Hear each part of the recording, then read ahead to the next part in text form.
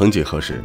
章泽天在大众心里还是一个清纯可人的想象。当她嫁给大十九岁的刘强东时，她在大众心中的形象就变成了又一个倚仗年轻貌美嫁入豪门做阔太的庸俗女子。二零一八年，刘强东某某门事件出来之后，就一直有他们婚变的消息传出来。当吃瓜群众都以为张泽天会上演一场精彩的离婚大戏，但令所有人失望的是，张泽天并没有选择离婚，而是原谅了刘强东。当张泽天登上二零二零新财富五。百富人榜时，大家才明白张泽天的野心远不止总裁夫人，她最大的本事就是步步为营的算计，却从不将野心表现在脸上。章泽天，一九九三年出生，家里条件很好，从小到大一直是品学兼优的人。二零零九年的时候，一张照片让还在上高二的章泽天在网上火了起来。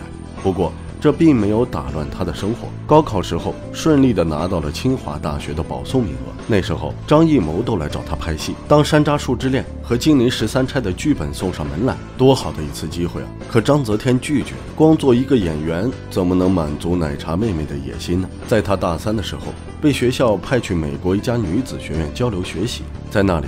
他遇到了同去那个国家学习的刘强东。刘强东想必不用和大家做过多的介绍了，京东的创始人，电商界大佬级别的人物。二零一四年四月，两人的恋情曝光，一五年十月就结婚了。在大多数人的眼里，这就是一个漂亮女孩傍大款的故事。但他们忽略了一点：张泽天不仅拥有一个漂亮的脸蛋，还有一颗精明的头脑。刘强东作为业界名流。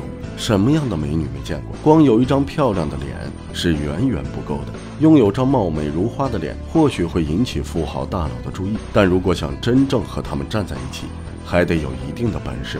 无论这场婚姻的起因是爱情也好，是出于其他想法也好，我们无从探究。就目前的形势来看，结了婚之后，张泽天得到了更广阔的发展空间。刘强东太太的身份给他带来了财富、资源和人脉，但他自己也知道，目前所得到的一切都是因为刘强东。刘强东也是个久经沙场的老油条，在他们结婚前夕，就有消息称，他们两人签订了一个协议。这个协议巧妙地把刘强东未来十年的财产变成了婚前财产。在未来的十年里，刘强东每年基本工资是一块钱。离了婚，张泽天什么也分不到。接下来，我们来看看这个看似拥有清纯面孔的女生是怎样步步为营的。他们的婚姻里或许是存在爱的，但抛开爱情，剩下的。就是各取所需。二零一五年结婚，二零一六年张泽天就生下了一个孩子。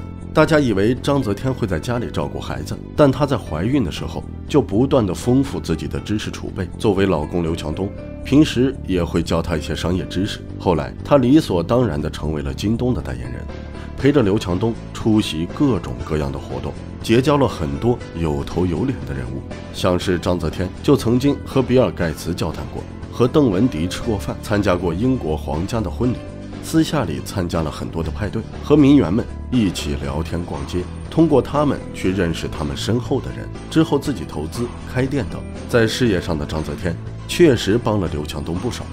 张泽天的到来帮京东省了很多的开支，他们俩秀个恩爱，随便打个广告，逢年过节的制造个热点，比明星效益来得还快。两个人的交往、结婚、怀孕、生孩子。没给大消息公布的时间点，好巧不巧的卡在京东有大活动的时候。身为一个网红，他用自带的流量为京东换来了巨大的经济利益。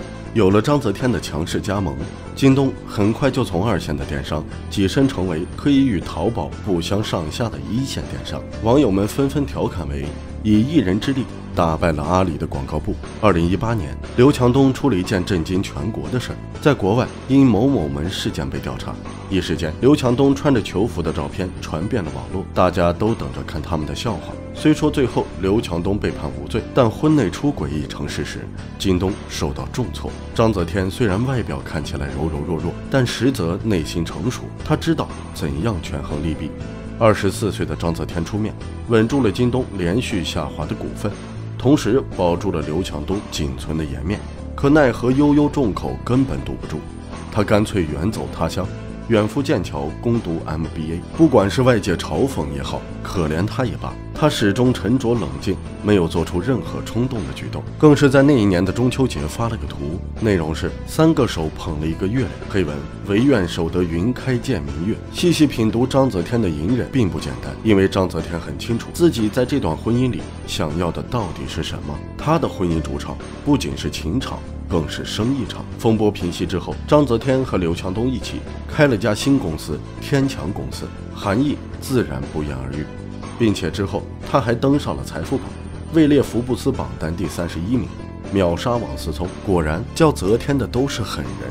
章泽天是一个不会把野心写在脸上的人，他给人的感觉永远一直都是一个不谙世事的样子。但实则，在他温柔的笑容背后，隐藏了大家看不到的努力。在一次次磨练之下，她终归从一个不谙世事的少女蜕变成刀枪不入的女强人。好了，今天的视频就到这里，不知道小伙伴们对此事有什么样的看法和观点呢？欢迎在评论区留言讨论哦。本视频观点根据网络现有信息整理推断而来，仅代表个人看法，如有侵权，请联系我删除修改视频。喜欢这个视频，别忘了点赞、收藏、发弹幕哦。我们下期精彩继续。